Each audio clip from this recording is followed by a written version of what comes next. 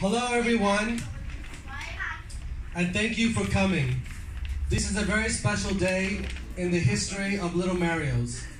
Lately, we all have come through some tough times, and we have not, we're not over it yet.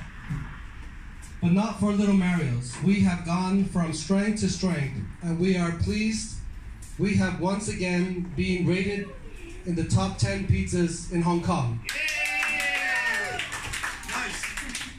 We are so happy and privileged to be part of this community. I hope and I'm sure we will be around to see our children to buy pizzas from their children. Most important, I want to thank our friends, customers, family, and staff. This whole, this would not happen without your support.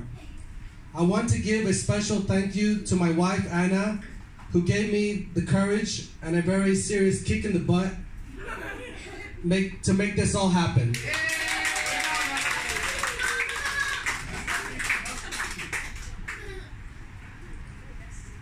So let's enjoy this. And let's let's let's get through this and have a bright future. Thank you.